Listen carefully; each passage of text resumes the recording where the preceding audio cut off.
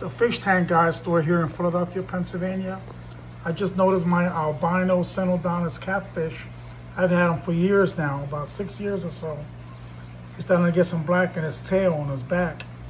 And I kind of enjoyed him being completely white albino for so many years. Haven't seen him in a while. He's always hiding inside of here. He's out today. I just fed the tank. But he got a little bit of black on his top fin and on his tail. I don't like it. I liked it better when it was completely white, albino looking. It's such a rare fish to find, albino. Albino Synodontis catfish. This is my 120 gallon adopted fish tank. Most of the fish in here are adoptions. I got them from different people. I show people all the time. I got aggressive with semi-aggressive and peaceful community all in the same tank. Getting along, no problem whatsoever. This is my um, ornate bichir right here, dragonfish, taking his time growing. A Siamese suckerfish, or a Chinese algae eater. A rhino pleco. This regular Synodontis catfish I adopted 10 years ago. That's my oldest adoption I have. 10 years ago come next month. Not all the fish in here are adoptions. This dragon blood, which he runs the tank, the African peacock, African cichlid peacock. He was born here four years ago, come this August.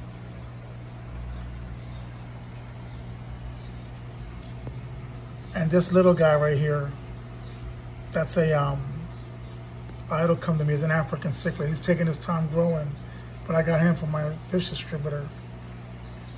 He's taking his time growing. Oh, I forgot the name of him. I got brain fart right now. That big clown loach right there came from Chesapeake City, Maryland. Three years ago, I got him. Three and a half years ago, I got him.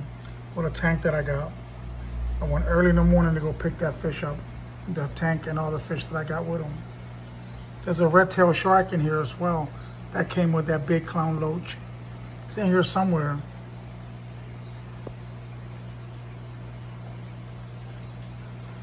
That big fish back there is some type of African cichlid. I forgot the exact name of it. I adopted him last year, April. If anybody knows the name, holler, let me know. I know it's from the tilapia family, I remember that much. Dolphin head, a blue moorii, African cichlid, OB peacock, he's in adoption. That geophagus back there is an adoption. There go my albino Synodontis catfish. You can see his tail is black, turning black. I don't like it much. Uh, I guess I guess he got to grow on me.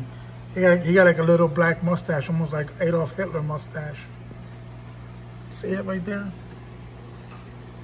See his lips? A little black on his lips. I haven't seen that fish in months. It's always hiding inside of there. There's a striped Raphael catfish hiding inside there as well, as well as a Pictus catfish.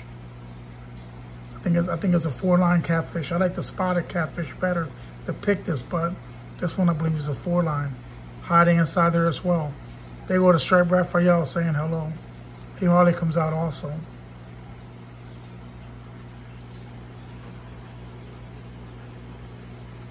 There's a true upside down catfish in here somewhere usually hiding behind that decoration. It comes out every now and then. Unless that's him right there. It's like midnight black, pure black, true upside down catfish.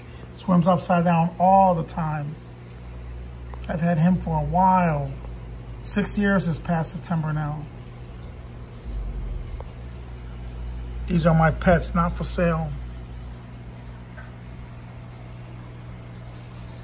That big albino chromocephalus Malawi eye biter, I adopted him sometime last year as well.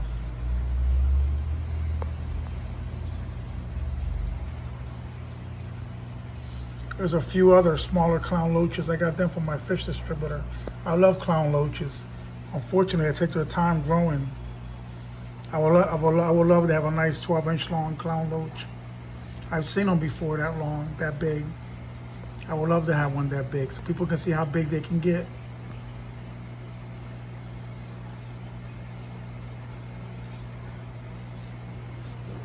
Thanks for watching the Fish Tank Guys store here in Philadelphia, Pennsylvania. If you have any fish you can no longer keep, I can definitely adopt them and find them a forever new happy home. Or depending on what kind of fish they are, they might just become my pets and end up, end up inside this 120 gallon tank. The Fish Tank Guys store here in Philadelphia, Pennsylvania. You can also follow me on Facebook. I got a YouTube channel on Twitter, the Fish Tank Guys store. Thanks for watching.